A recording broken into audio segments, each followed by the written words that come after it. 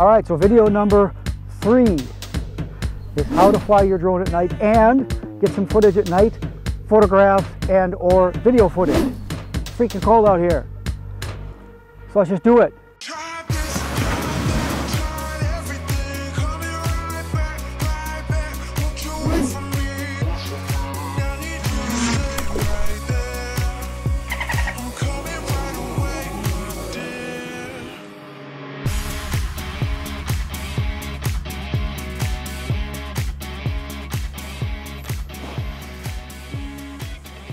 All right, so let's go get some footage of this bridge.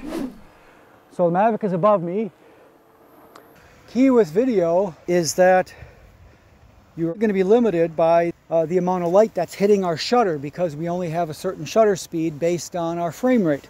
So it's the best we can do. Now this isn't bad. Isn't bad, you can see it here. Not bad overall. Here we go, let's take a little flight.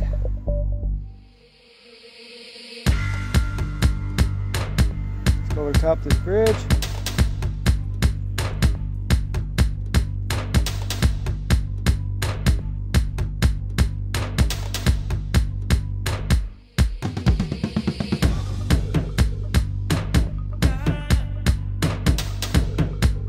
see that pretty well. You can see that uh, anti-collision light pretty well. Let's turn around here. Come back the other way.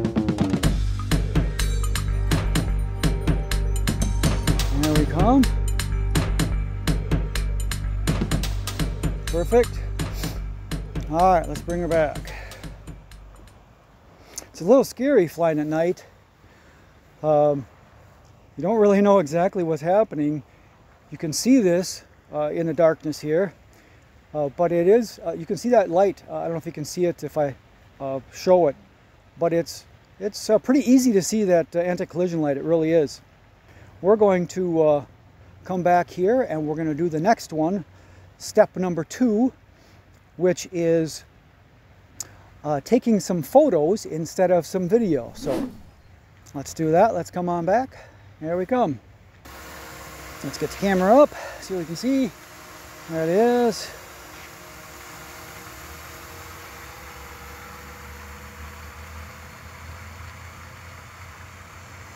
And let's get our camera set. And let's do our shutter at uh, our shutter we're going to do quite a bit higher.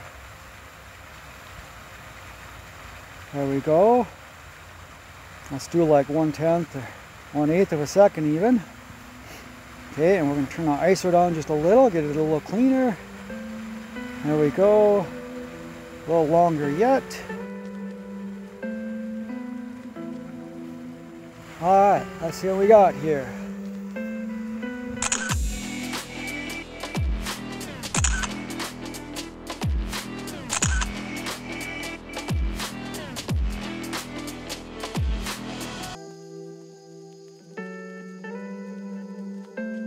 Well, that should be some photos. Let's see what we have. Let's see if we can go get some light trails and then our third one.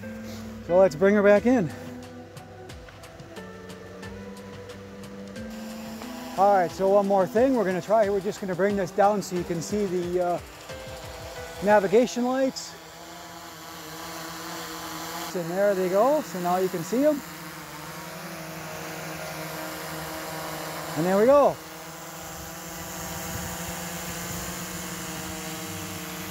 So let's go take our other ones.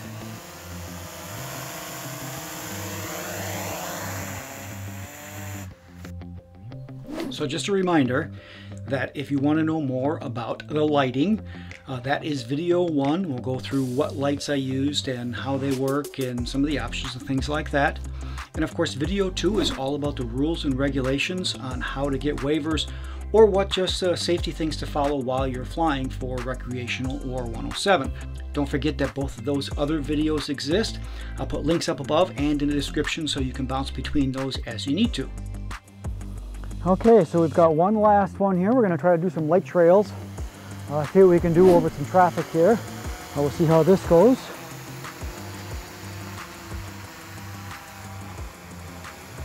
Waiting for some cars. We'll be good. All right, so you can see we're actually getting some halfway decent um, uh, lighting now. We've got the uh, ISO turned way down, which is nice. Uh, the shutter speed we've got quite high, trying to get a little more light trails, trying to get some light in there, so that's good. We can't change the aperture on this, so we don't have to worry about that at the moment. So here we go.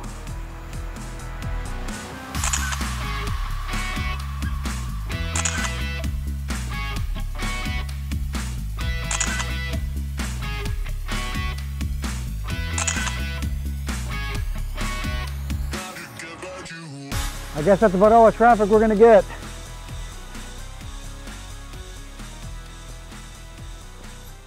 So there we go.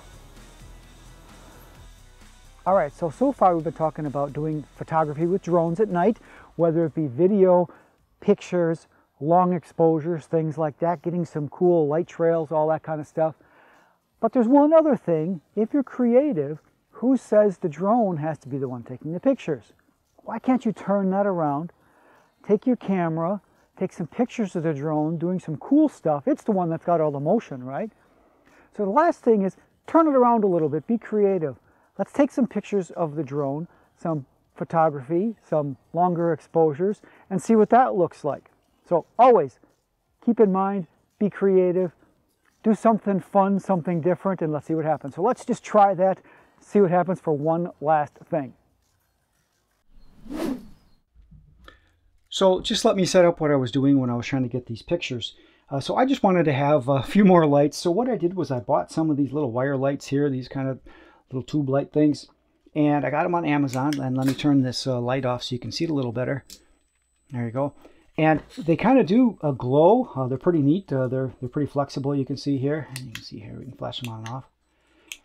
And they came in a bag like this for like uh, a bunch of these for like 10 bucks. Uh, so it's a hell of a deal. Uh, get all these different colors and it comes with all these little uh, controllers like this. Uh, I'll put the links below so you can uh, get those if you want. They're pretty cool. You can sew them onto clothing, things like that. Uh, but I did do that and I attached it to the drone. Let me turn off the strobe here so we can see that.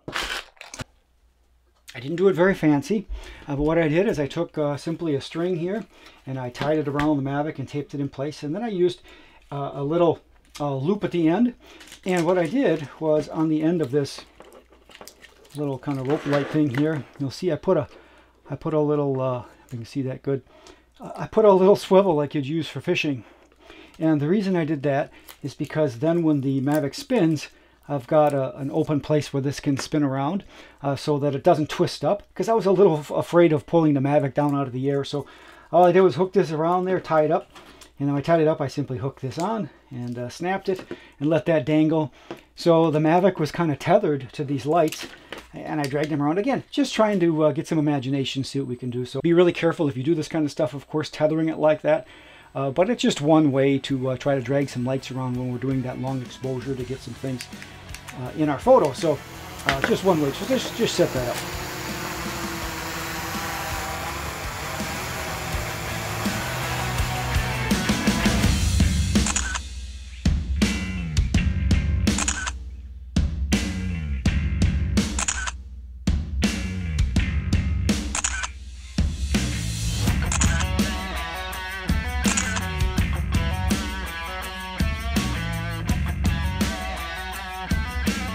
There we go. Some of the cool things you can do with drones at night, photography videos, all that kind of stuff. I hope you found some use to this video. If you did, I really would appreciate a like. really helps the channel grow. A subscribe will let you know of future things that are happening that might be fun and different, industry news, things like that. So I always appreciate you subscribe. So with that, until next video, good flying.